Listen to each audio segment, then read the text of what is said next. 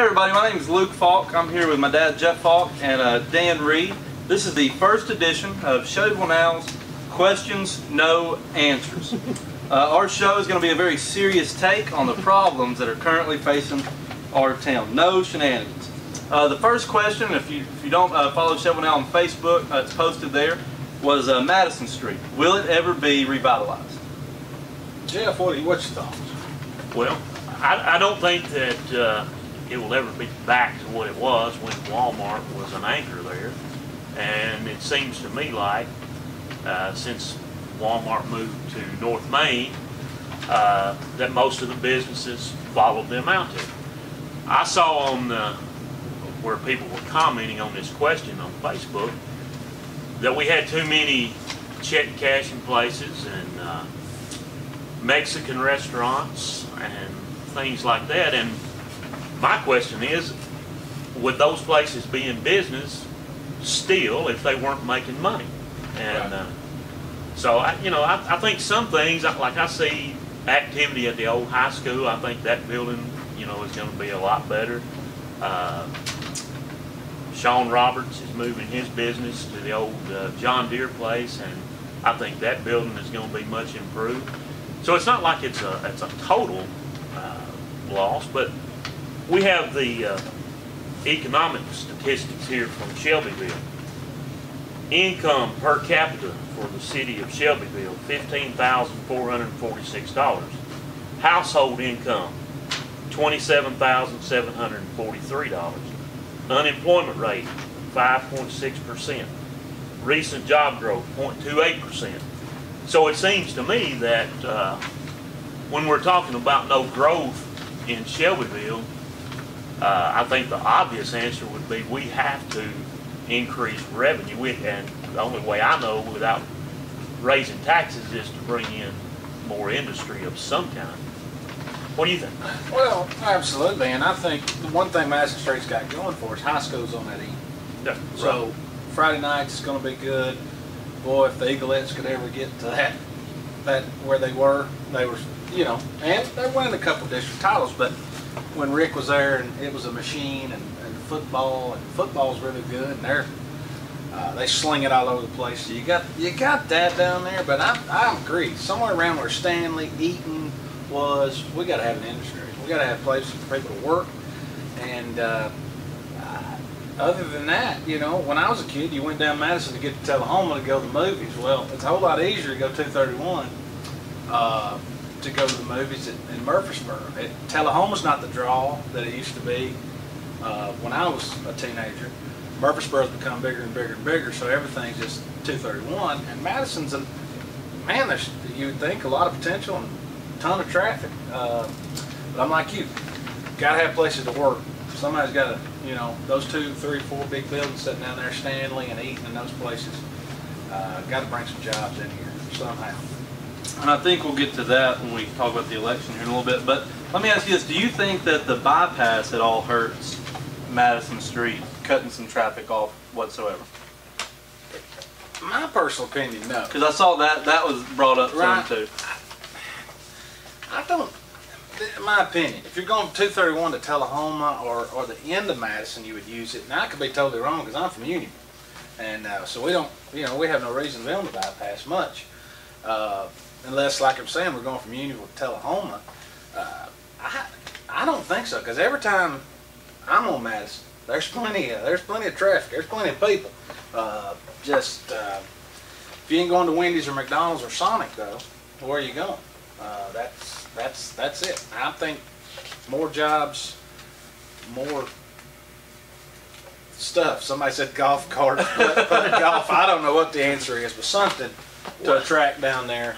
Well, I, several people commented about wanting a, a grocery store on Madison Street. But obviously, that's not a, an issue for the public. I mean, that's a, that's a private, Right. uh, a private business would have to be, you know, somebody that went there. And, and I would think our numbers probably don't justify them coming here. right. Uh, right. you know, a- and then they, they talk about fast food. Well, if you put a nice restaurant somewhere in Bedford County, are the people going to be willing to pay the price with the incomes that we just talked about. Right. And, and I think that's a problem. Um, Boys, you fix it. You put a Chick-fil-A on Madison Street.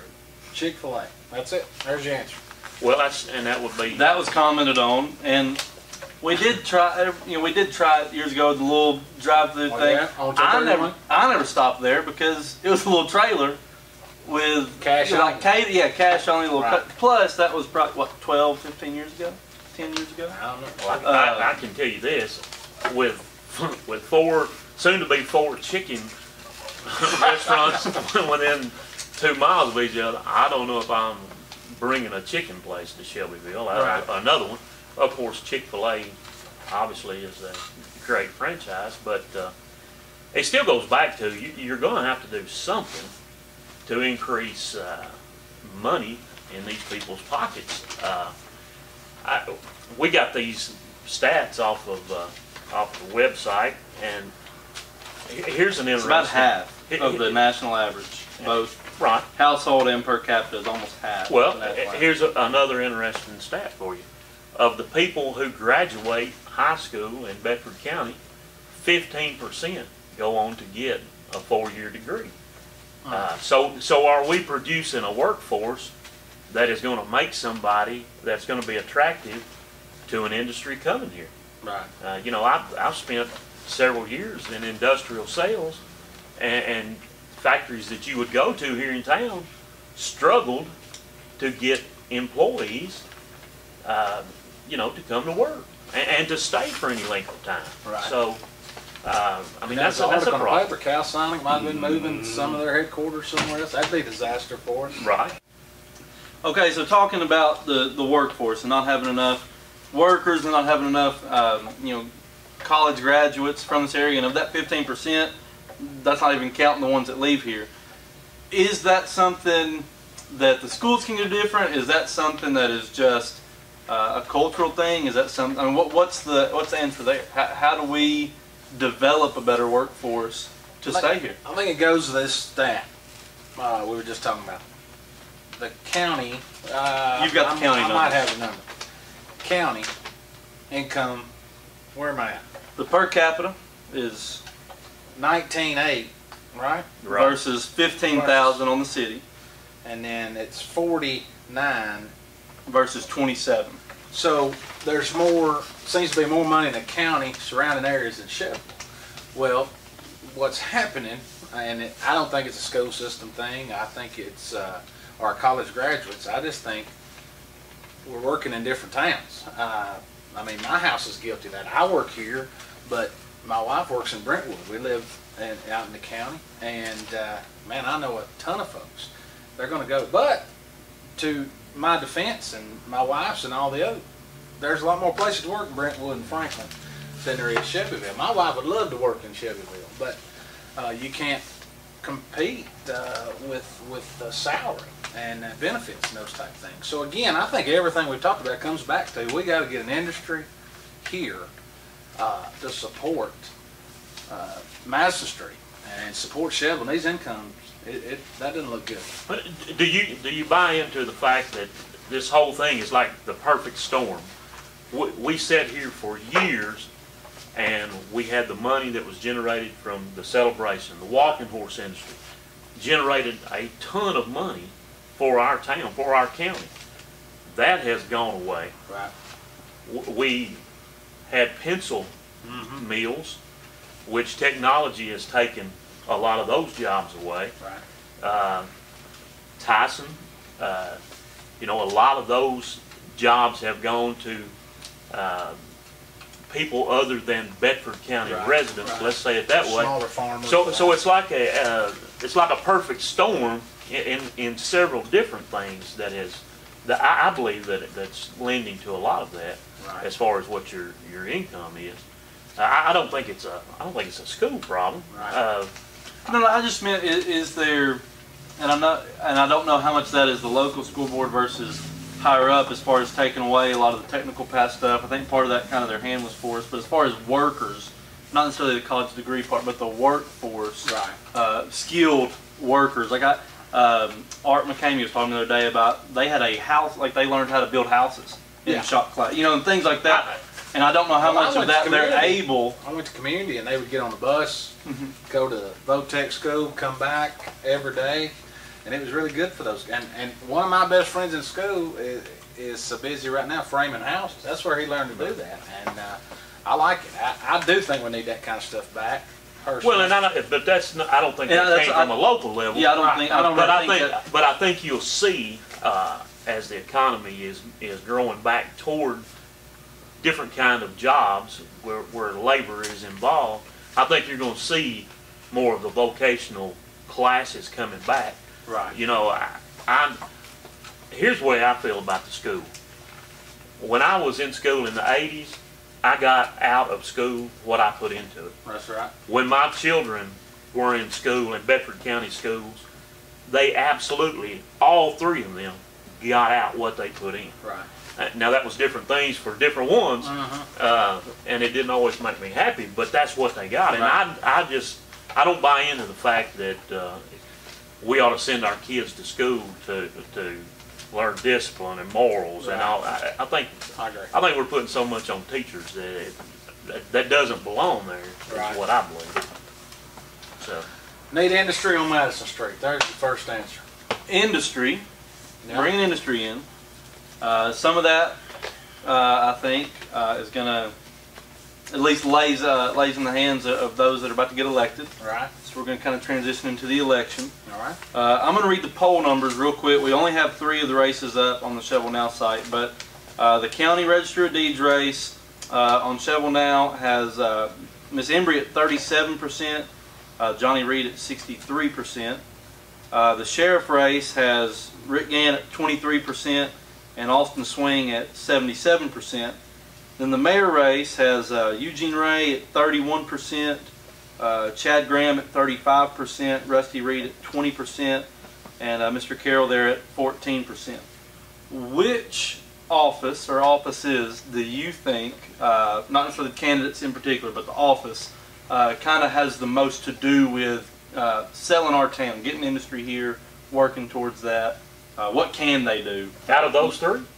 Uh, yeah, well, out of all the all the races, those are just the polling numbers that we have. But out of out of all the the elections that are or, or the seats that are up in the election, Well, I, I think you're, uh, I think the county mayor has to be a, almost a salesman Mhm. for the county in, in, in what he can do in that. Uh, Of course, your commissioners are gonna set where your money goes and, and things like that. And, let me say this, I, I think we've made a great stride in getting an industrial park up and running. Right. Uh, We may be a few years behind, but at least we're making progress toward that. Uh, you know, you don't want to come across as this is a terrible place to live. I love living Right, here. I, I mean, I live in the city, and I, I love living here. Uh, I, w- I would like to see it. I would like to see it grow so our young people would feel like they had the opportunity to stay here. That you know, that's. I agree. I mean, I'm an old man. Right. Uh, I mean, seriously, I'm not. I'm not going anywhere. But I'd sure like to see my, my children and my grandchildren think the same of Shelbyville as I do. You Right. know? Well, I'm the same way. This is this is uh, county seat. and I'm from Unionville, and uh, man, I don't want to live anywhere else. I tried. Yeah. I went to seminary in Memphis, and uh, uh, boy, I couldn't wait to get back towards here. And I don't want to come across either as I think uh, it's, that it's done, it's over. Yeah. Man, I love it. I love everything about the horse show. I love everything about the town. Man, the history of the sports here. Uh, I, I, I'm all for Shelbyville. I, I'd love to see. Uh, besides that, I'd love to see that horse show get to what it used to be. That celebration, what it, what it, in its heyday when I was a kid, uh, what it was. Back to your question, commissioners. Commissioners have a big, uh, a huge burden on them. I think we got some good commissioners. Uh, county mayor, you think about those guys, how they love Shelbyville, those candidates. Man, nobody loves Shelbyville more than Rusty Reed.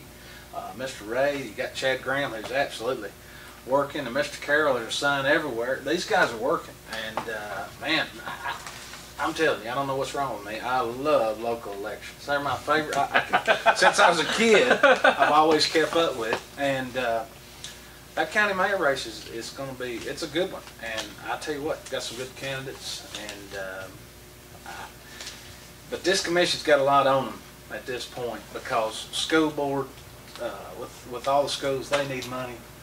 Cascade's getting a new school. I hear Eastside, that, they need a new school, so commission's got to have. Southside has Southside's. portables I went to- everywhere. I went to Southside, and it's the same size it was when I went. Right. When Ralph McBride was the principal, he used to wear me out about three days a week. it's the same size. So, uh, uh, man, the commission, that county mayor, and then the school board. You know, school. Which they- you're gonna be on. You're if my- unopposed. If my wife votes for me, I got a shot at. But uh, I heard, yeah, I heard you had three votes right now, right now. Lacey hadn't voted yet. But early voting is, hey, and notice I saw in the paper they early voting was looking good. Two thousand, I think, had already right. been up there to vote. Uh, and we didn't mention this sheriff's race. I'm gonna tell you what, these guys are doing some campaigning. Yes, I'm sir. telling you, I'm from Unionville, and uh, Rick Gann has wallpapered Unionville, and uh, Austin, and he, he's done work here in Shelbyville. And uh, man, uh, they said that uh, early voting summer had said it's really looking good compared to that. Uh, last election back in what May, I think it was. Am I yeah, right? getting Was it as a one page. Yeah. it, wasn't, it wasn't very good on the numbers. Hey. So I think the people are coming out, and uh, we're not going to predict winners here. We uh, No, we're not. we're we're not not gonna- predicting winners, but uh, I'm looking forward to it, man. And maybe some of these signs will get picked up, including, including mine. you know. Well, I, do we have a list where you put yours? Yes. yeah, he's very organized. Because most, well, most Very people didn't know you were putting them there, and I, that's why I Uh, was. Yeah, yeah, yeah. Earl Carlton's. Somebody needs to keep up with There's, there's only I'm District Three. It's not a big one. Hey, and I forgot, we're getting a new convenience store on Madison Street. The Speedway. Problem solved. Very large, very large. I, I don't know what that's gonna do for traffic right there on that intersection, but I, I'm gonna say it's gonna be pretty tight. Probably runs Right smooth. there. It'll probably go real smooth. Not a Well, problem. I, maybe they're gonna bring the gas in on something smaller than a tanker. I don't know. I, but Underground. I don't know. I know, Run a pipeline to the Speedway. we, Yeah. we missed out on Walmart Market, which might be a good thing, cause all the ones I know closed up. but- Yeah. Right. Yeah, it was. Chapel Hill, that was- Cornersville, Yeah. That both was, closed. So and that's fifty yards from where this new speedway is. I, don't- I mean, I don't know I what don't that means, but, uh. Dan, let me ask you this: You're going to be on the school board. Yes, sir. What is one uh, important issue um, that you would like to see brought up or discussed, you know, or or solved? I went to my first meeting uh, as a guest. I went in as a public meeting. I wanted to, and just hearing those uh, those guys and and and Mr. Embry talk, and I didn't realize. I, I know we had eight thousand something students here, uh, but what I didn't realize was Cascade needed the school. They got it. Community's got a new high school, but when they built it, they only built it for five hundred. We're already over that, uh, but they said Eastside's got to have a school immediately, as soon as this one, and, and you just sit and think about where, where's the money coming from? We're not, we don't have any, we don't have any ball fields at, at Cascade, we don't have them at community, we need another elementary school, and, uh, we've just got to figure out, uh, how to get some, some revenue. By the way, let me just point this out, I want everybody, this county pays less for pupil than any of the surrounding counties, and, uh, we need to, we need to get more folks. on, man, we got eight thousand kids going to school here. So, uh, it's something, I wanna, that's, that, that's certainly something we gotta figure out how to, how to, to improve on. Which all comes back to getting industry in. Well, I mean, Yeah, more. people spend. Bedford Spend their money. In Bedford County, uh, which is we're all guilty of not doing it. We, we, everybody is. Right. And, man, think about the small businesses we do have here that we absolutely need to be supporting. That's right, Uh, absolutely. Right, I, I mean, I agree. no doubt about that. and uh, closing out question because we've got one minute. Yeah. Uh, All Star Church League softball game. If you suited up today, Uh, today, give me your top three. the game or players? Game. We, we got you build your I'll- team out of out of all past players per church. Oh, then I want, uh, I want, I'm gonna go late eighties, Krause Chapel Lutheran, uh, is my, my team I'm going with. I'm going with them. Calvary, good night. Uh, Uh, look, here's the difference. On short. Well, here's the, hey, here's the difference in the two. Wow. Uh, late seventies to two thousands, Calvin. So I don't have to pinpoint the year. I mean, I'll just take like a couple of decades. let's Hey, go. Hey, we just brought up what quickly. What about if we got the old softball back when it was Johnson's versus Duck River. How much industry that brought down Hey. here? I mean, the newspaper was down there. that's, Hauling Philpott. hey, hey, at the old Evans Street, at the swimming pool park. Why not? Swimming Why pool Everest. Here we go. Didn't We- have fences. Let's How many go. problems have we solved already? I I don't know that we answered anything, but it's. Questions, no answers. That's Questions, us. no answers. That's us. Uh, we'll be back uh, shortly. I believe we're going to have a special election only episode post election. All right. Uh, so we'll see you back then. Uh, send any questions uh, that you might have you want us to answer. Uh, we'll do our best. Or Thank you. talk about. I'll talk. There you go.